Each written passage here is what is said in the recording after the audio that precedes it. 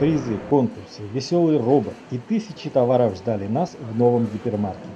На открытии Декатлона не было столпотворений, но первыми покупателями сюда пришли настоящие спортсмены. Дочка биатлоном занимается, а мы так любительски на лыжах. Уже успели что-то посмотреть? Нет, только вошли. Просто вот первые впечатления ваши. Ну, вроде бы хорошо все. Я еще не смотрела весь магазин, только вошла. Но лы- да, мне нравится, лыж много. Декатлон основательно обосновался в России. На открытие Пушкина приехал генеральный директор вместе с супругой и сыном.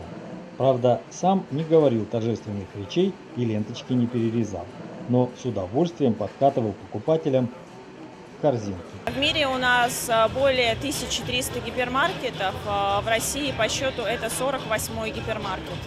Сколько здесь товаров?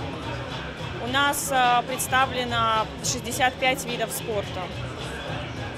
Сколько человек работает, есть здесь э, местные жители?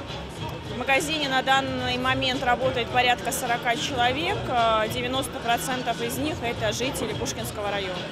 К летнему сезону Декатлон откроет площадки для занятий спортом возле магазина.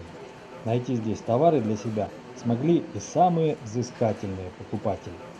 Да, там есть спорт- э, в спортивном магазине есть отдел для лошадников. Я очень люблю лошадей, у меня есть свои лошадки, поэтому там есть что приобрести. Ну, да- давайте расскажем, что именно. Ну вот у меня как раз пришло время поменять и вальтрап, и попоны. На этом инвестиционные проекты Пушкина не заканчиваются. Уже готов проект технопарка 84 гектара. А всего 4 года назад так не верилось, что на месте пустыря вырастет настоящий современный ритейл-парк.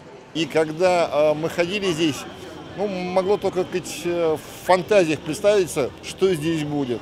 И прошло относительно немного времени. Действительно, Декатлон буквально вот за 6 месяцев построен совершенно замечательный магазин.